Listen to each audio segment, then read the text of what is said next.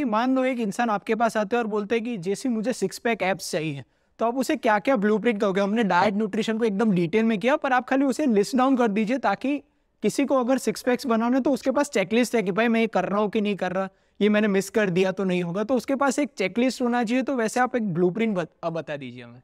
Right right. तो देखिए six pack abs में दो चीज़ हो गई। एक तो आपके एब्स जो आपके मसल्स होते हैं तो आपको कुछ ना कुछ एक्सरसाइज तो करनी पड़ेगी over a period of time क्योंकि आपके जो रेक्टस एब्डोमिनस जो आपके मसल्स होते हैं मसल्स तो आपके वो फॉर्म होने पड़ेंगे राइट? जो आपके एब्स के मसल्स हैं। कुछ लोग के छः मसल्स होते हैं वहाँ पे कुछ के बारह मसल्स होते हैं कुछ के दस होते हैं।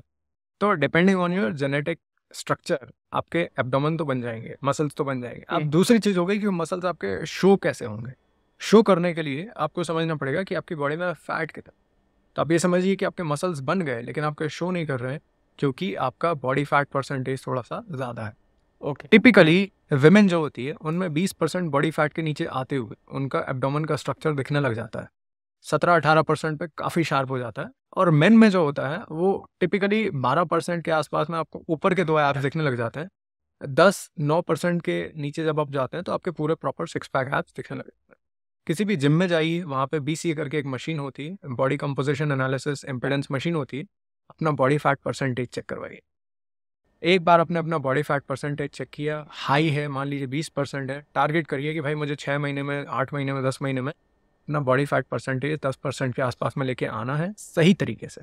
अपनी कैलोरीज सेट करिए, एक छोटा सा डेफिसिट क्रिएट करिए, जिसमें कि आपका एक मेंटेनेंस कैलोरीज है और एक थोड़ी सी कैलोरीज है, जिसमें आपका मंथली लगभग दो से तीन परसेंट बॉडी फैट अगर परसेंटेज लूज हो रहा है बॉडी फैट परसेंटेज अगर लूज हो रहा है इट्स गुड एनफ तो उसके हिसाब से फिर आप एक रोड मैप बना के चलिए, अपना प्रोटीन सही रखिए, अपना हाइड्रेशन सही रखिए कैलोरीज और फिर स्लीप और ओवर पीरियड ऑफ़ टाइम आपको रिजल्ट्स दोस्तों, ये वीडियो अगर आपको वैल्यूएबल लगा तो इसे लाइक कर, अपने सारे दोस्तों से इसे शेयर कीजिएगा। इस चैनल को सब्सक्राइब तो आप कर ही लेंगे। चलिए मिलते हैं।